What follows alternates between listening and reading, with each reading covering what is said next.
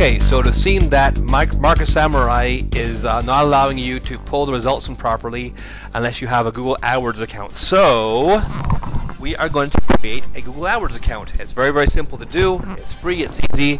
Here we go here. All you do is go to Google AdWords. I've already typed it in here from beforehand. Top one, it says Google at google.com AdWords. Go to that. Go to Start Now. Okay, type all your information in here. In this case, I have it pre-done, as well as my website information is done over here. Uh, and so you have two choices. You already have Google account, or you don't have Google account already, and you don't, don't want to use Google account at all. So if you do have Google account, then I have an email address and a password I already use with Google services like AdSense, Gmail, Orkut, or iGoogle.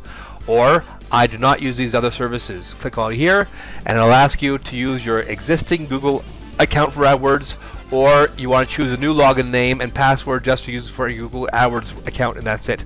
Or are not using these services, in this case you create a Google account for yourself and you type all the information in, including the CAPTCHA here, and then they'll send you an email telling you to authorize Google account. Once you've done that, please go into your email and authorize your Google account and then go into Market Samurai. Oh, and once you authorize your Google account, log back into Google AdWords. And uh, in this case, I'll just log into mine. Uh,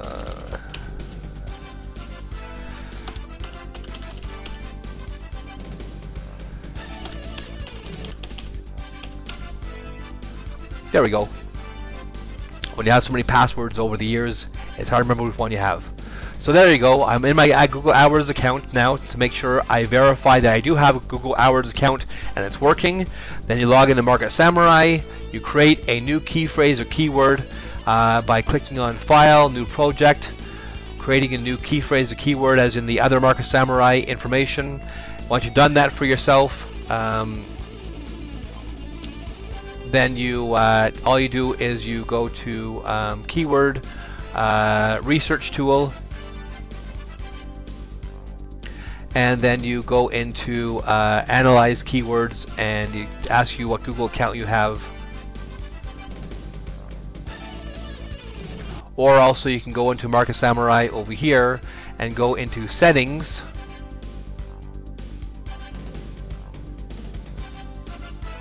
And the settings box will open up.